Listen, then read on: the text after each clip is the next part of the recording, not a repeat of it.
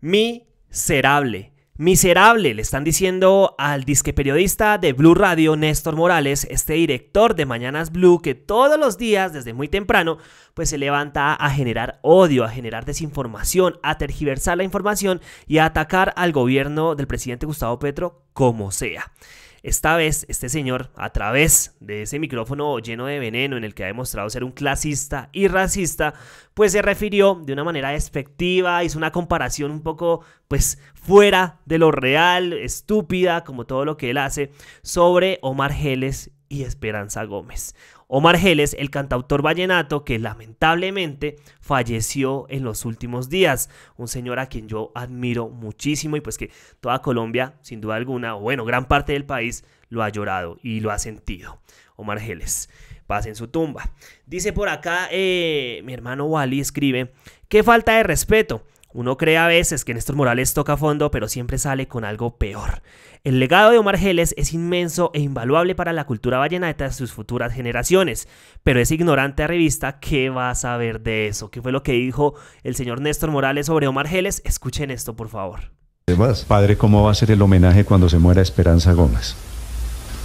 Si esto es con el vallenato. 9 de la pero, mañana. No, 16 no, pero no, pero no, Esperanza Gómez no representa lo que representa Margeles. eh, Claro, son expresiones culturales usted, distintas. son, eh, no, no, uno no puede comparar el aporte a la cultura de este señor que se acaba de morir Total. con lo de Esperanza Gómez. Otra vez. Además, padre. ¿cómo va a ser el homenaje cuando se muera Esperanza Gómez? Si esto es con el vallenato. 9 de la Pero mañana. no, 16 no, pero Hombre, no, pero no, Esperanza Gómez no representa lo que representa Margeles. eh, Claro, son ex- No, re- realmente es terrible el, el comentario de este señor fuera de contexto. O sea, siento pena ajena, o sea, una pena enorme por las declaraciones de este personaje uribista de extrema derecha. Y refleja a la perfección lo que es su periodismo y el periodismo de los medios de comunicación tradicionales que tienen a personajes como este, pues hablando y vociferando estupideces a través de sus micrófonos, sus cámaras, en fin. Ahora bien, mucha gente empezó a recordar eh, el siguiente video. Solamente quiero ponerlo porque realmente no lo había visto. Y empezaron a decir que realmente el odio, o bueno, este comentario fuera de casillas eh, de Néstor Morales, tuvo que ver por esta declaración de Omar Geles sobre el presidente Gustavo Petro recién llegó al poder. Escuchemos lo que decía Omar Geles del jefe de Estado. A mí me asustaron por tantas mentiras que dijeron de Gustavo Petro, nuestro presidente. Hasta a mí me asustaron. Pero lo que ha demostrado desde el día que fue elegido hasta hoy día de su posesión es que es el presidente que no mira a Colombia, no mira a los colombianos. Y por eso dice este verso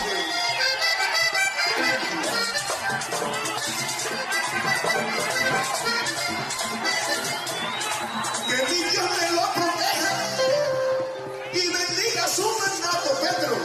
Que mi Dios me lo proteja y bendiga su mandato. Usted es el Nelson Mandela que unirá a los colombianos. Bueno, ese fue un verso que le sacó Margeles, el maestro Margeles, al presidente Gustavo Petro. No voy a opinar más sobre este video.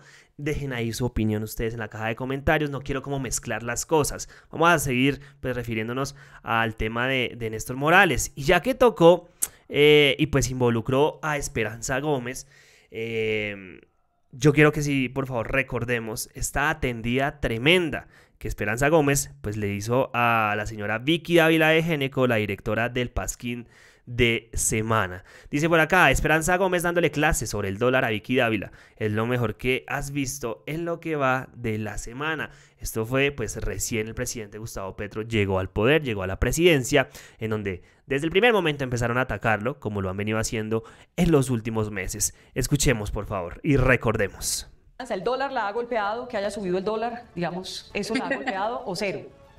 Para mí absolutamente no. Vicky, ¿por qué? Porque yo ofrezco servicios en línea a través de la internet y esos productos se pagan en dólares. Entonces, Entonces, ¿tanto le para ha mí, servido?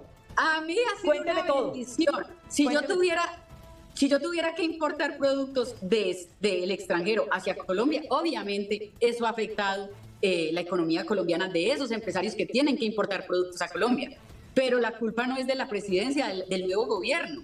La culpa la tiene la guerra y los sucesos que están ocurriendo en el mundo. ¿Qué culpa tiene el presidente de la guerra entre Ucrania y Rusia? Él no tiene la culpa. Eso fue lo que disparó los precios. ¿Qué culpa tiene el presidente de Colombia, que en ese momento no era presidente, era candidato, cuando pasa el COVID y debido al COVID también se incrementan los precios de absolutamente todo? O sea, la culpa también la tuvo el señor Petro. Yo creo que no. O sea, uno también tiene que saber eh, ser, como equitativo y ser transparente en sus opiniones. Está bien que el señor viene de haber hecho supuestamente algunas cosas que no son legítimas, pero la culpa del precio del dólar no la tiene el presidente, es una economía mundial. Aquí en Estados Unidos, por ejemplo, te voy a poner un ejemplo ridículo.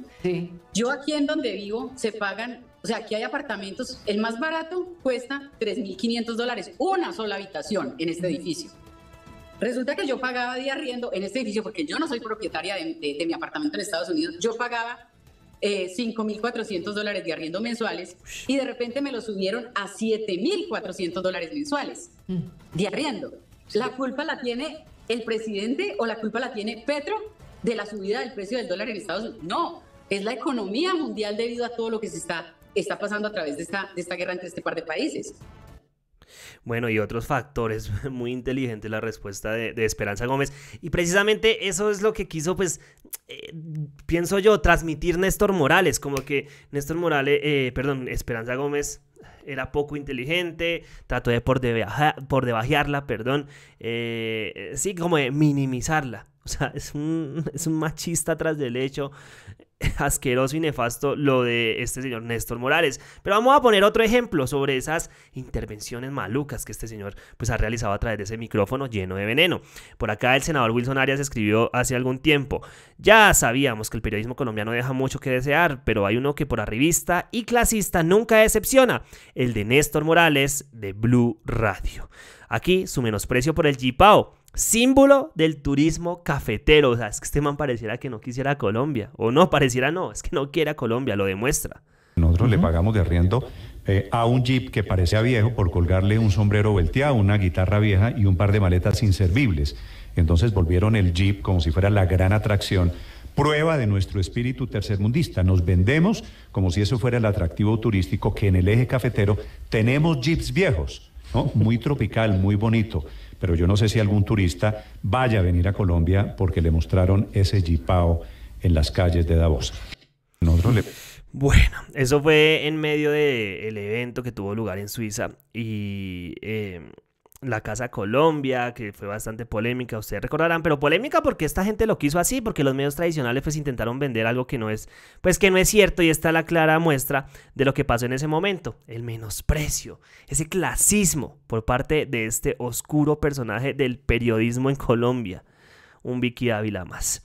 Bien, y ya para terminar, no podemos dejar de pasar la joya de, de la corona eh, bueno, después de tantas eh, intervenciones también, pero este esta fue muy viral y fue cuando se refirió a Buenaventura, mi Buenaventura. Dice por acá, a Néstor Morales le duele terriblemente que haya turismo y progreso en Buenaventura bajo el gobierno de Petro. La mezquindad del cuñado de Duque no conoce límites. ¿Recuerdan lo que dijo este señor sobre Buenaventura? Escuchen esto. Y sobre la llegada de turistas, sobre la llegada de esos eh, barcos enormes llenos de, progreso, llenos de dinero, llenos de turistas que, pues, se dedican a gastar, por ejemplo, en Buenaventura y que nunca había sucedido, pues escuchen esto. De Colombia 57 Tours, hablando ah, tours, ¿Cómo les va? Vale. Señor Mesa, ¿usted trae este crucero, el que está esta mañana llegando a Buenaventura? Sí, correcto. Nosotros somos los responsables y representantes de, la llegada del crucero MS Hamburg de la naviera Plan Tours a Colombia y a Buenaventura. Sí, señor Mesa, ¿y por qué los traen a Buenaventura? Digamos, ¿cuál es el atractivo? ¿Qué es lo que le están vendiendo a estos turistas? Bueno, yo estaba escuchando un poco, eh, bueno, lo que ustedes están diciendo acerca de Buenaventura y tengo que ser muy honesto. Realmente eh, esa es la imagen que tenemos la mayoría de los colombianos y, lastimosamente por las noticias que en ocasiones no son tan positivas eh, a nivel internacional, Buenaventura no, no es que tenga el mejor nombre. Sin embargo, una vez eh, nosotros llegamos a Buenaventura y nos dimos la oportunidad de conocer el destino, nos dimos cuenta que las noticias no dan 100% la realidad del destino. Buenaventura es un lugar muy... Como las noticias de Blue Radio, por ejemplo.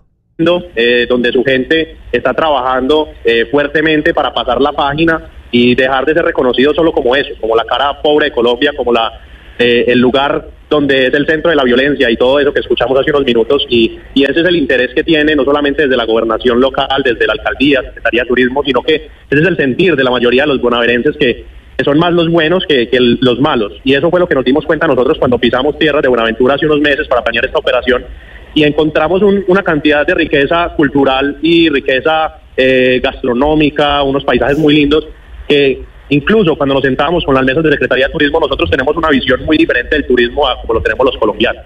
Nosotros conocemos muy bien eh, al turista eh, al turista extranjero, al turista europeo y vimos en Buenaventura un, potencial gigantesco. Eh, entonces encontramos una ciudad que ofrece cuatro patrimonios de, de la nación en cuanto a su cultura, su gastronomía, en cuanto a su música y en cuanto a sus bebidas, sus bebidas típicas a base de biche. Encontramos una reserva natural hermosa que es San Cipriano. Eh, No, pero- desarrollamos pero- un programa. señor Mesa, San Cipriano lo conozco, es realmente lindo. Pero ustedes metieron a estos Sí. turistas extranjeros esta mañana, aquí estoy viendo las imágenes, en Buenaventura. Quiero preguntarle, ustedes les dijeron a los señores alemanes, a los suizos que vienen en el crucero, los vamos a llevar a que vean pues la ciudad más emproblemada. O sea, allí están los chotas, los espartanos. Esa es la ruta de los carteles del narcotráfico. Allí se están matando sin ninguna misericordia. ¿Ustedes van a meter a la gente allí arriesgando la vida también de estos turistas? Ahora entienden por qué Colombia no progresa. Por personajes como este, que todos los días pues llegan a un público enorme a través de sus medios de comunicación tradicionales. Por eso este país está como está, dirían. Es el dicho eh, común. Un poco trillado, pero es la verdad. Qué cochinada, Néstor Morales. Escuchemos la respuesta del señor eh, empresario y ya con eso terminamos. Realmente es que, y con todo el respeto te lo digo, muchas veces las noticias son demasiado amarillistas y nos enfocamos demasiado en lo malo. Obviamente hay problemas como en cualquier parte de Colombia, como en cualquier parte del mundo. Sabemos que Buenaventura es una ciudad que tiene una, un tema de seguridad delicado. Eh, la verdad hemos contado con mucho apoyo de, de las autoridades se ha desarrollado un dispositivo de seguridad bastante amplio eh, para cuidar y proteger a estos turistas de que cualquier situación pueda suceder.